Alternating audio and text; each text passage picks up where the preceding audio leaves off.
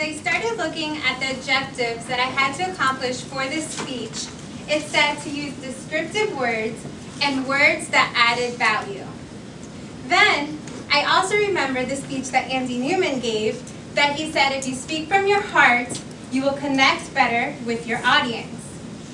So with these two ideas in mind, I began thinking about all the different topics that I could talk to you about.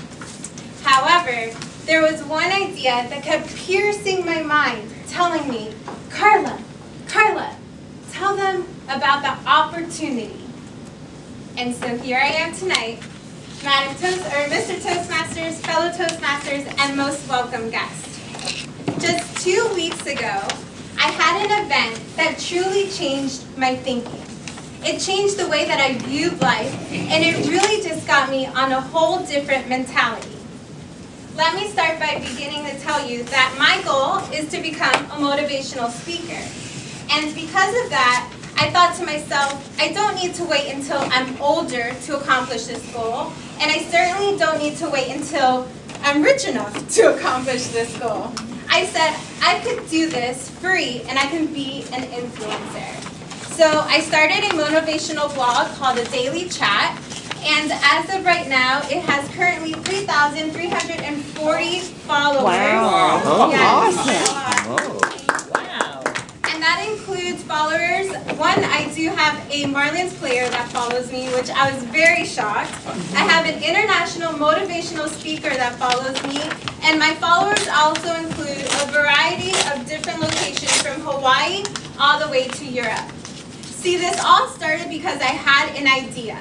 I didn't want to wait for a moment in my life to occur so that I can take action. So why am I telling you this? And what was the day that changed my thinking? See, one of those individuals I told you was an international motivational speaker. And his name was Eric Thomas. And I'm getting so excited already telling you the story. so I am a huge fan of Eric Thomas. I follow him and I am just such an advocate of what he does. His videos, the way he speaks, he's so authentic. And luck would have it that one of my friends invited me to an event where Eric Thomas would be speaking. Now, I couldn't believe it. I was like, are you sure it's Eric Thomas, the one that's following me? I couldn't believe it. And he says, yes, it's that Eric Thomas. And the reason I got so excited about this is because prior, this individual had liked and even commented on some of my videos that I have done on my motivational blog. And at first I was like, this can't be. It probably is his publicist, writing, you know, making a connection with his audience and with him. But in my thought, I was like, if I get to meet him, you betcha, I'm gonna, I'm gonna ask him, is this you writing me? So the day of the event came, and there were two, it was a two-day event. The first day, luckily, Eric Thomas would not speak, but he would begin doing uh, a book signing. So of course, I got in line, I got my book, and impatiently, like a little girl waiting at Disney World to ride her first ride, I couldn't even contain the excitement. The person behind me was seriously worried. and I was like, oh my God, there he is, there he is.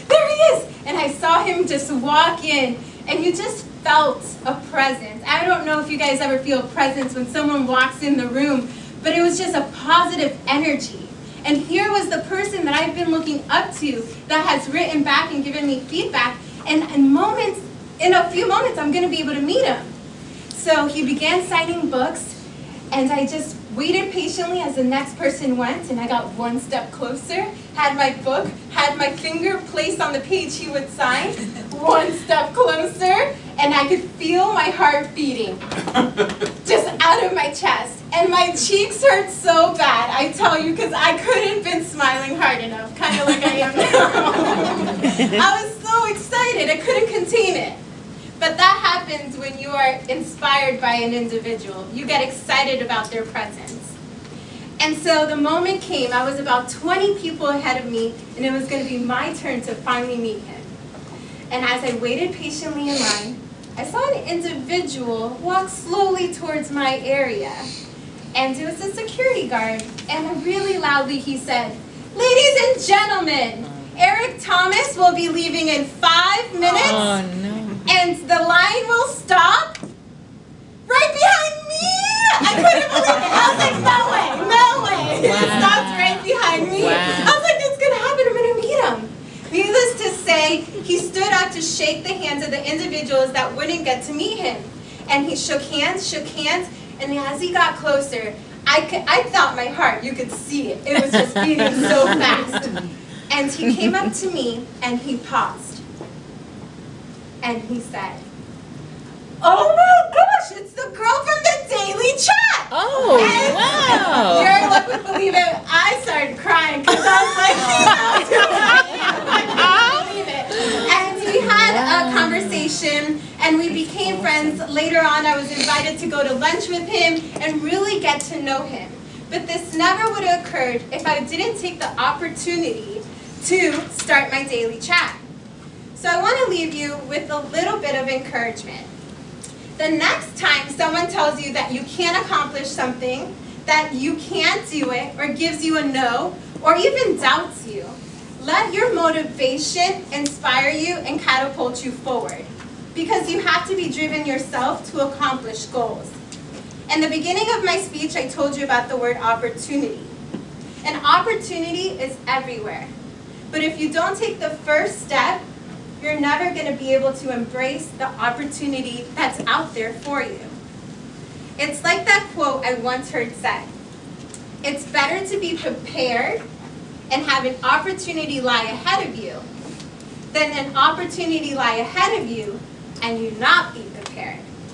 So be driven and watch opportunities open up for you.